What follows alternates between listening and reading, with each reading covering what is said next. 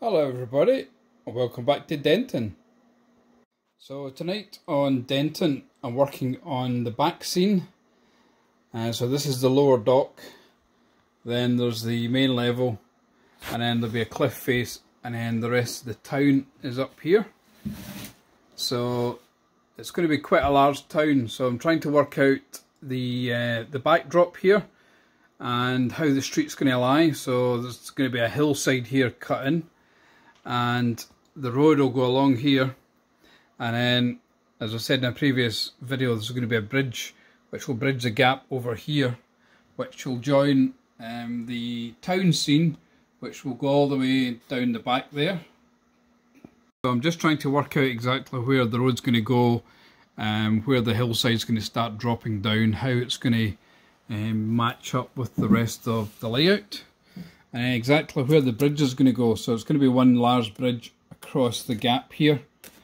Um, and then, as I said previously, I'm going to put a gasworks in here. And then I've got the hole cut for what's uh, going to be a tunnel. Um, so the track's going to go outside the garage uh, into the garden and it's going to curve back round and come into a large fiddle yard. So then it means that I can run uh, through trains instead of uh, having it as a terminus station, a terminus station. So that's the, the long-term plan. So I'm just trying to um, plan out this because I really have no idea what it's going to look like. So uh, I'm going to start carving and we'll see how it develops as we go. But like I say, it gives you an idea of what the back scene is going to look like in the end. So I'm just trying to work out exactly where the road's going to go um, where the hillside's going to start dropping down, how it's going to um, match up with the rest of the layout, and exactly where the bridge is going to go. So it's going to be one large bridge across the gap here. Um, and then, as I said previously, I'm going to put a gasworks in here.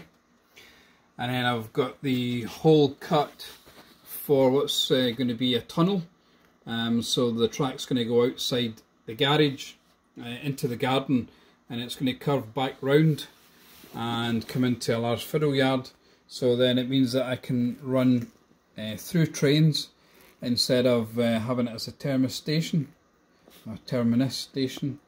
So that's the the long-term plan. So I'm just trying to um, plan out this because I really have no idea what it's going to look like. So uh, I'm going to start carving and we'll see how it develops as we go but like I say, it gives you an idea of what the back scene is going to look like in the end.